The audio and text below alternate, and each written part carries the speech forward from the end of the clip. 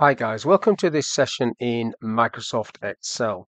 In this module, I want to show you how you can create a macro to quickly automate column widths without using VBA. So first of all, I've got a small spreadsheet on the screen here. If I just bring the columns in, so we've got some hashes, which is what you see when you can't see all the data with numbers or dates. Uh, with text, it's slightly different because you can see that there's an overlap there they sort of like tucked behind. Now to quickly rectify this, what you can do is you can click on this little triangle to the left of letter of the letter A and then double click on any of these dividing lines between the column letters. So I'll go for this one and that will do the auto fit feature. Now if I record myself doing that with a macro and then attach the macro to the quick access toolbar, I should have that available to me in any spreadsheet. So let's just get some hashes there. Now to get the macro, I'm going up to the developer tab. If you haven't got the developer tab on, you can go from review, but to get the developer tab, you can just basically right click on any other tab, customize ribbon, and then tick developer on there. Then it's once it's ticked, it stays on. So on the developer tab, I'm going to use this feature, record macro, and I'll just call it wide or widen and it's in my personal macro workbook. Click OK to that.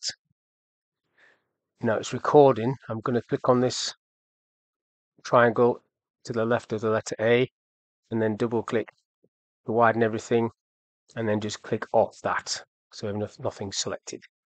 Stop the macro.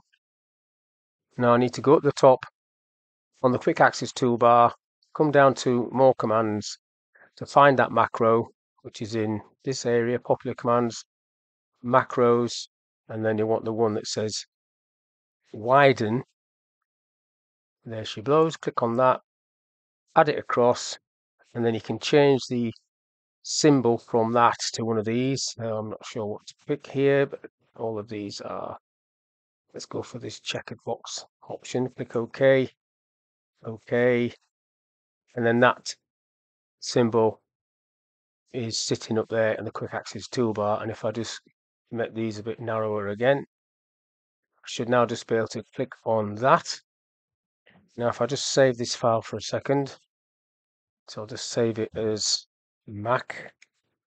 It's gone into document so I've saved it. Don't need um, autocorrect on.